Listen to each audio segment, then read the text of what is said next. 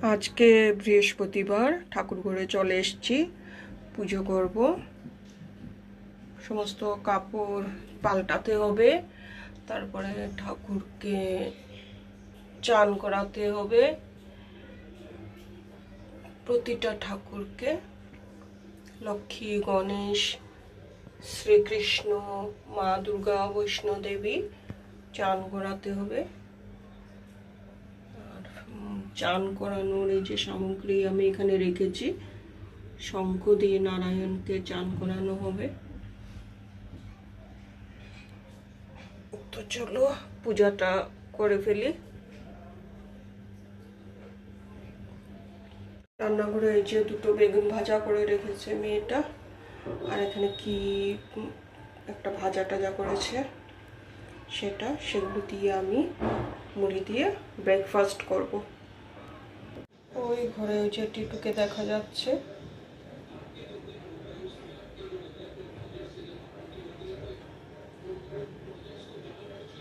এই মাত্র কাজ থেকে উঠলাম।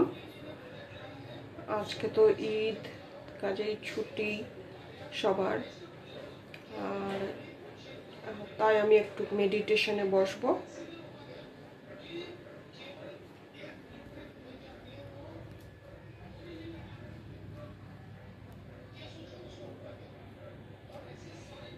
আমার ল্যাপটপের সামনে আমার বাবার ফটো থাকে সব সময় বাবার আশীর্বাদে আমি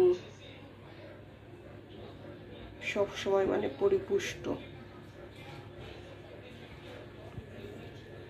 দেখুন, এখানে কেমন কুমড়ো গাছ উঠেছে।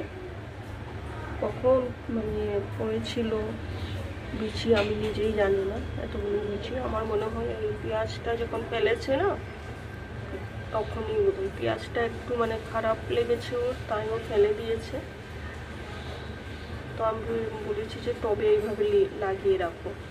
তো ওই সময় বোধহয় কুমড়ো বিছিও ছিল, কুমড়ো বিছি ফেলে দিয়েছে। আর কি সুন্দর গাছ উঠেছে জানি না হবে কিনা সারা রাত ধরে বৃষ্টি হয়েছে। এখনও পড়ছে বৃষ্টি, দেখো।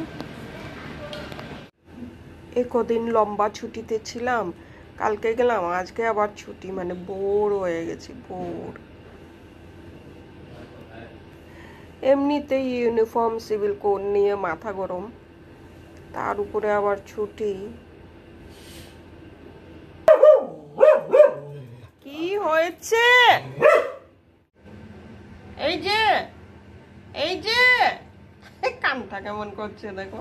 এই যে ওই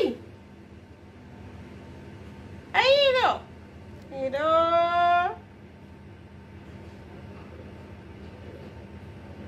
পাত্তাই দিচ্ছে না দেখো।